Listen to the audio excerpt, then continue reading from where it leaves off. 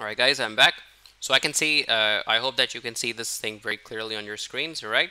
So now here, this is a list of conjunction words, alright? This is the list of the conjunction words, alright?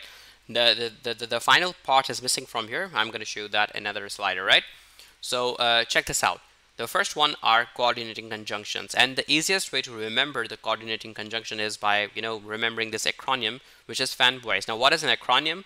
An acronym uh, is a kind of a word which is made uh, out of several different words using their first letter and combining the, all of them as a spelling. So for example, F for for, A for and, N for nor, B for but, O for o, Y for yet, S for so.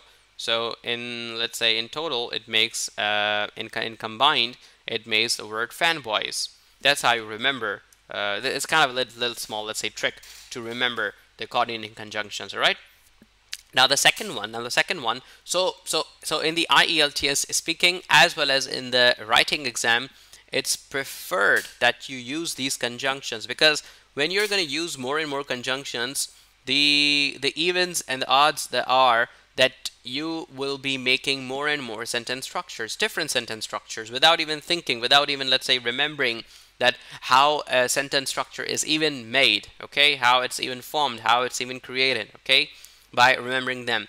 Now the second one is correlative conjunctions. Now what are correlative conjunctions? Correlative conjunctions are the one conjunction are the words which are said to be said in pairs. For example, both and, whether or, not only but also. I not only play hockey, but I also play cricket. Either you go there or I'm gonna come with you and take you there. Okay?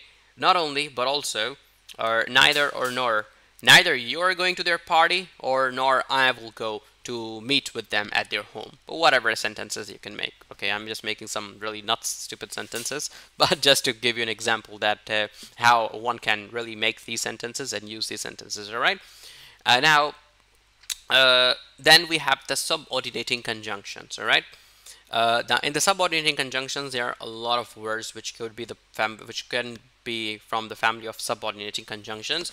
So the, the, the point here is, guys, that you really don't need to remember all of them. I mean, like if you do, that's that's really good thing. That means that you're guy you guys are going for an extra mile. But not really necessary to remember all of them. But as you can see here, a couple of examples. Now, since, unless, while, before, why, supposing. Uh, then we have the words like if, when, where, wherever, whereas, whereas, whether, since, because, whose, whosoever, whoever, unless, while, a lot of them, the subordinating conjunctions, all right? So I hope that you guys are clear with the coordinating conjunctions, correlative conjunctions, and subordinating conjunctions, all right? Now the last one will be the conjunctive adverbs, and then we are going to come back to the complex sentence structures and the compound complex sentence structures, all right? Okay, guys, so uh, any questions in three of these conjunction types? No, no questions. Okay, so I will consider that that it's clear to all of you that you all understand that what are these the three different types of conjunctions here, right? And in order to improve your vocabulary, so you see, guys, uh, these conjunctions. Uh, one, one more plus point I would like to tell you that you might think that you know then. Uh, what, what is this kind of let's say thing that uh, you really need to memorize a lot of vocabularies as well right but uh, let's say for for now that uh, you can also improve your vocabulary by remembering these conjunctions as well because the more and more uh, different sentence structures you use the, the, the, the, the more evens and the odds the more evens are that you're going to be using more different different words in order to express your thoughts in order, order to make your sentences all right? So e even though by using these conjunctions your score in vocabulary can also increase and as well as in the grammar as well. So yeah now talking about the conjunctive adverbs, but before I talk about the conjunctive adverbs, let's look at a little bit uh, uh, literature here regarding to the conjunctions, all right? So now first uh, we have the literature here regarding to the coordinating conjunctions, all right? So first the conjunctions, uh, it connects the words or a group of words to each other there are four different kinds of conjunctions, coordinating conjunctions, correlative conjunctions, subordinating conjunctions, and conjunctive adverbs. As we have been studying, uh, just studied about the coordinating, conjunct, uh, con uh, correlative, subordinating, and now we're going to read, uh, try to understand the conjunctive adverbs here as well. So for example, uh, coordinating conjunctions must connect the same parts of speech. Uh, two or more nouns, pronouns, verbs, adjectives, prepositions, conjunctions, phrases, or clauses. Now, just don't, let's say, confuse yourself with this definition, whatever I've just told you before. Uh, let's keep yourself until that, okay? Uh, a couple of examples here. A strong but warm breeze blew across the desert. So here are two adjectives used. I don't know why they're telling about the adjectives, but not really, not really necessary to remember, as it's saying that it is the one which joins the different two adjectives, right? Please print or type the information on the application form. Her arguments were easy to ridicule, yet hard to refute. Two phrases of equal importance, easy to ridicule, uh, ridicule and hard to refute. Note how the two linked words in the following sentences are not the same parts of speech. He was angry and a dwarf. The sentence is awkward because angry is an adjective and a dwarf is a noun. Thus, they are incompatible.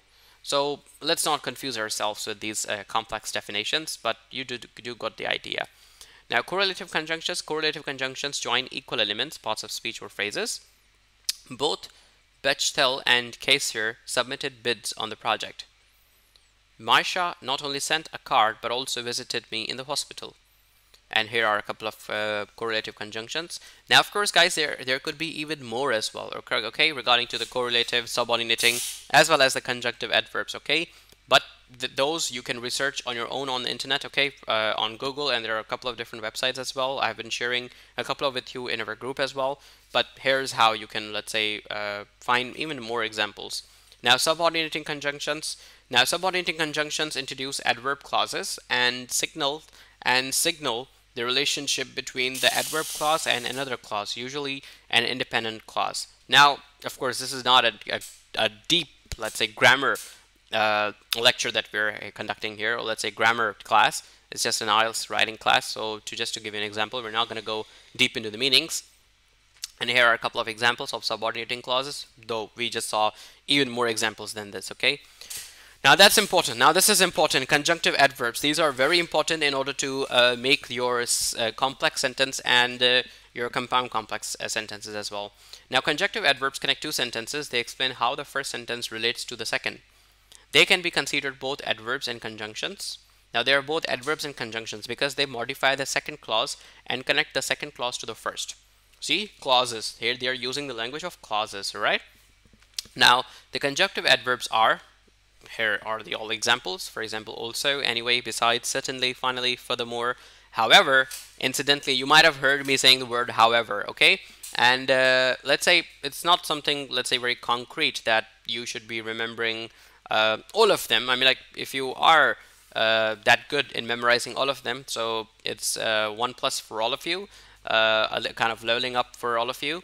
But I would say that uh, make use some of them five six or seven of them memorize them or maybe let's say 10 of them that you can use without any hurdle like without any wasting time in thinking because remember in the IELTS writing tasks too you have 40 minutes okay so uh, for example we have uh, examples like here similarly still then therefore thus undoubtedly nevertheless likewise meanwhile otherwise moreover however, incidentally, and so many of them, right?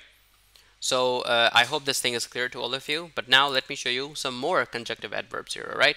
So we have more conjunctive adverbs. Uh, the list is in front of you. And uh, of course, we, I will be uploading this video on the YouTube as well, on my YouTube channel as well, in different parts, which will be easier for you to navigate and to again listen to the lecture as I've been telling you all, all these things, all right?